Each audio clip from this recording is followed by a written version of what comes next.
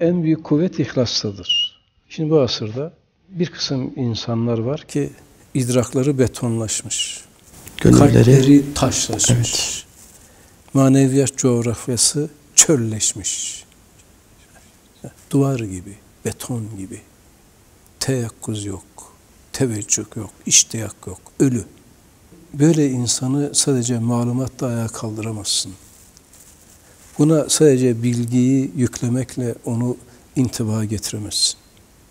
Ancak onu ayağa kaldıracak, belki onu uyandıracak sırrı azim ihlastır. Halisane sözdür.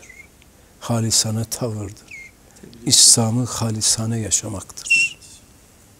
Dolayısıyla bir Müslüman tam, tam ihlaslı bir mümin olursa ağzından çıkan kelimat o yanardağından çıkan lav gibi olur. Düştüğü tesiri yakar kuvvetli olur öyle mi abi? yakar. O zaman kelam kalbe iner.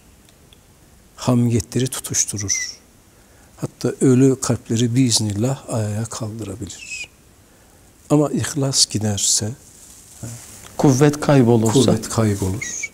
Velev edebiyat noktasından çok beli, çok mükni, çok mükemmel konuşmuş olsa bile sözün tesiri azalır. Şimdi makamı tebliğdesin, bir hakikati konuşuyorsun. Bir meseleyi tezekkür ediyorsun. Bir manayı dostlarına aktarıyorsun. Konuştuğun kelamın yüzde kaçında hakkın rızası maksut ve mattuptur. Onun içine ne giriyor?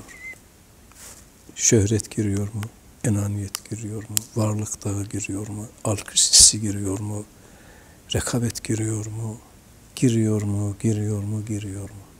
Yani biz hulusiyete makes aynadarlığımızı gösterirsek Cenab-ı Hakk'ın Hadi ismi tecelli eder.